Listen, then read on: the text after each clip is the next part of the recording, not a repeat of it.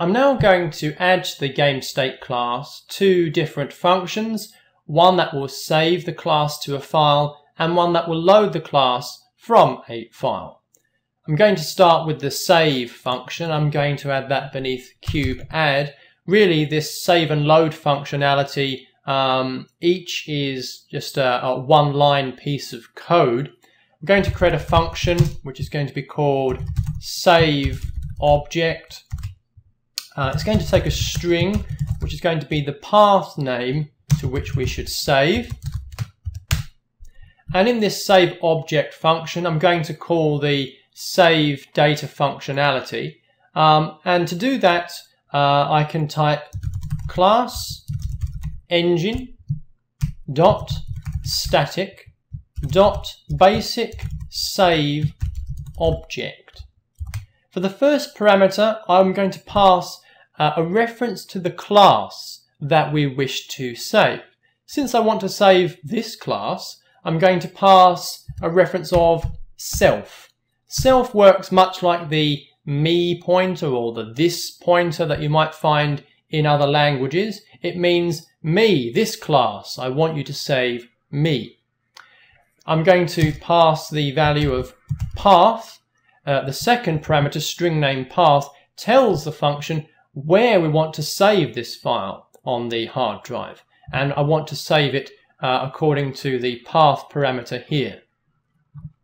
The third function uh, indicates whether this is going to be a save game file.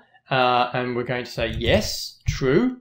And finally, the version number, I'm going to specify at 1 for this parameter.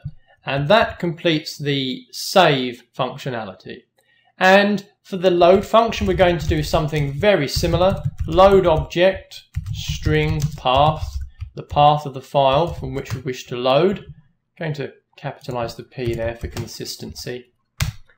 And again, I'm going to select class engine dot static dot basic load object.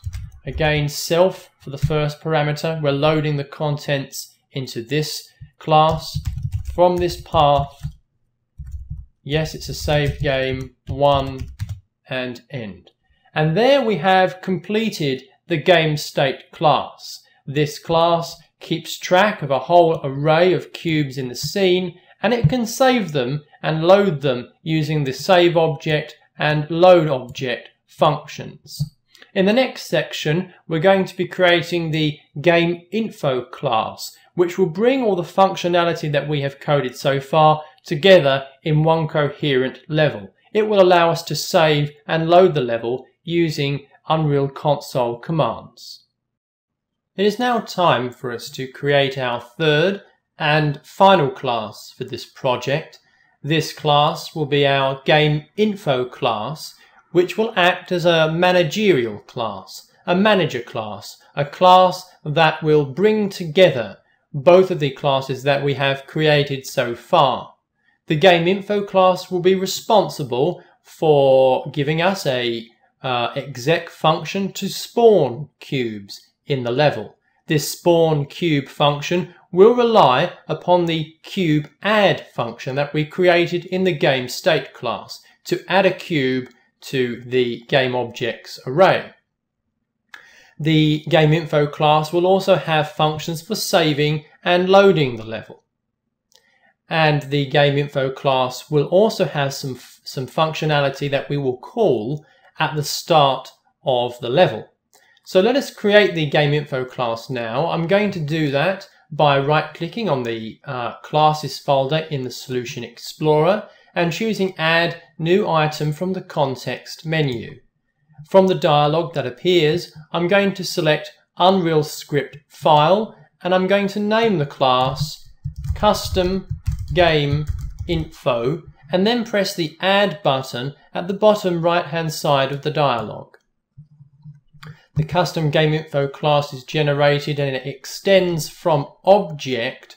We don't want that. I want to extend from Game Info. And here our class is ready. The first thing that I want to add to this class is a member variable. In particular, this member variable should be of the type game state. it should be var game state and we can call this um, game current state. Now this member variable um, is of type game state, which we created in the previous section. We need a variable to, um, to this class so that we can call upon all of the functions defined in game state so that we can save the level and load it and add cubes to the array.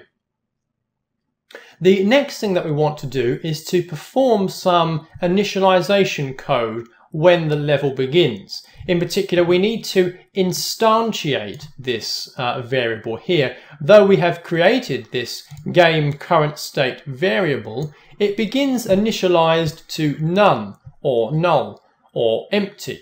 We will need to instantiate the game state class and assign it to this game current state variable.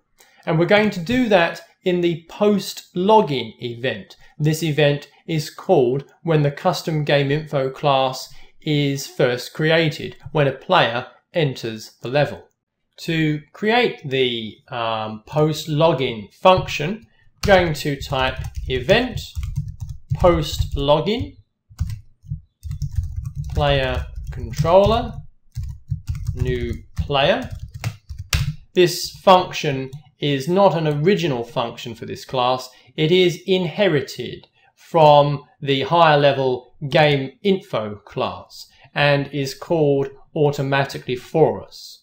So uh, I'm going to call the superclass version of this function to ensure that any ancestor classes perform their necessary behavior.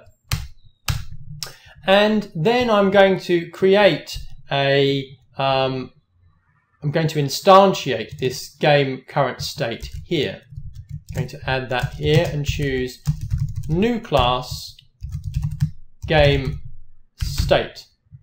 And there we have created a function in which the game current state is instantiated as this class is created. The next function that I'm going to create is the spawn cube function. This function will be an exec function, meaning that the user will be able to call it from the Unreal console during gameplay. The spawn cube function will be used to spawn a new cube in the level at the specified position. And so it will call upon the game current state object in order to add the spawn cube to the cubes array that we will eventually save to a file on the hard drive. So let us create the spawn function now. If I just insert some lines and I choose function exec spawn cube and for the parameters that we input are going to be three floats to specify the 3D position of the cube to be spawned. It's x, y and z position. Float x float y, float z. The, I'm going to add two uh, local variables to this function. I'm not going to specify what they do right now. Their purpose will become clear as the function progresses. Going to add a local variable here to vector location local, um, it's going to be local uh, cube memory, which is going to be our cube. Okay, so the first thing we want to do for the spawn cube function is to assign these three floats, x, y, and z, to a vector location structure, to plug these values into a vector structure that the UDK recognizes.